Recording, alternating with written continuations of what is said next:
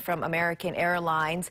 Carrier confirming that all flights to and from Kahului are canceled today due to Hurricane Lane. Again, American Airlines canceling all flights to and from Kahului today. This just in breaking news.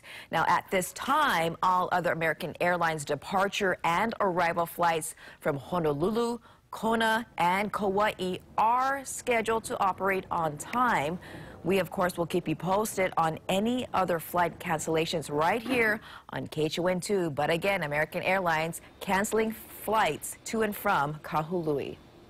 United Airlines canceled flights today in and out of Kahului uh, as well to help stranded passengers. Two additional flights were scheduled yesterday from Honolulu to San Francisco.